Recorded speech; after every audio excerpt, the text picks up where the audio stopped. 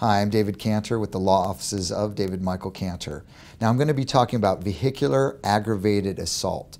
Now what is that? Well the definition is if a person intentionally, knowingly, or recklessly causes serious physical injury or disfigurement, or if they use a dangerous instrument such as a car and they cause somebody to be in imminent fear or cause serious physical injury, then that means they're guilty of um, vehicular aggravated assault. Now, this is overcharged all the time by the county attorney's office. What they will do is say, well, an officer was scared when there was a car coming at him and he had to jump out of the way. Let's charge somebody with vehicular aggravated assault. The problem is the amount of punishment that's involved. If you're convicted, and the car is determined to be a dangerous instrument, you're facing 5 to 15 years in prison with 7.5 years per presumptive. And that's very serious. The policy offers by the county attorney's office are quite simple. If you're over a .20 and you have a prior DUI, they're going to ask for prison and they won't budge. If it's a first offense DUI and you're under a 2.0 and you got in an accident and somebody broke a leg or needed stitches, then they're going to ask for probation with a year in jail. Either way, it's a bad scenario.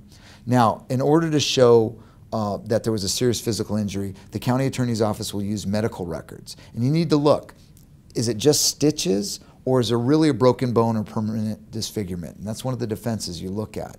Also, causation or supervening cause.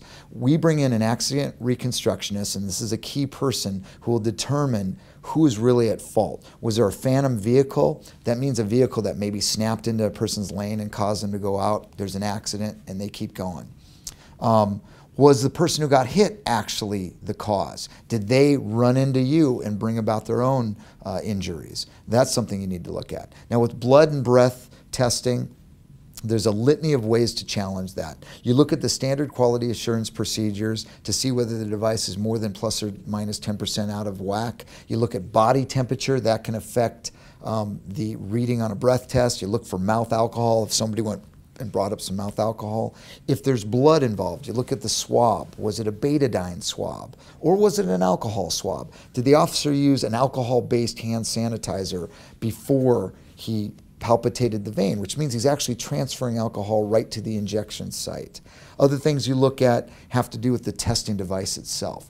There are all sorts of defenses to these charges. We've been very successful. If you go over to our victories section, you can see under vehicular aggravated assault all of the victories we've had. This is one of the most overcharged uh, charges out there and it is very defensible. So if this involves you, a friend or a family member, give us a call or go to our website at dmcantor.com.